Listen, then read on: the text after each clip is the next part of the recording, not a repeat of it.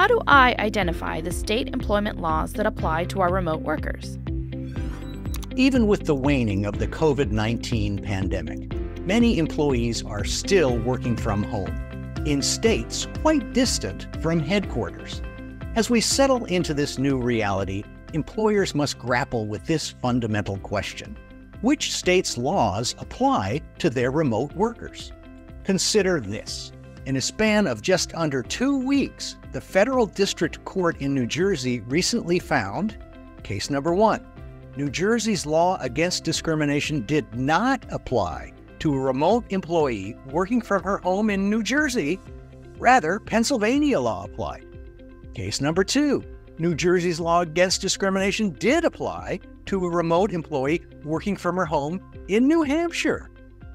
The obvious takeaway is that state employment laws may or may not have cross border application. It depends on the specific facts involved.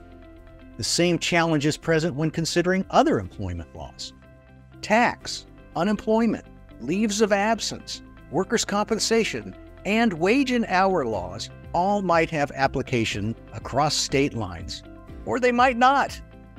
The question of which state's laws apply can come up in a variety of scenarios. For example, when setting up a new remote worker in a different state, when a remote employee resists returning to the office, claiming that doing so would violate the law, Perhaps they have a disability which they claim prevents them from returning. And where a remote worker in a distant state files an administrative agency charge or lawsuit. Employers, take note. The question of which state's laws apply to your remote workers is complex, nuanced, and highly fact specific.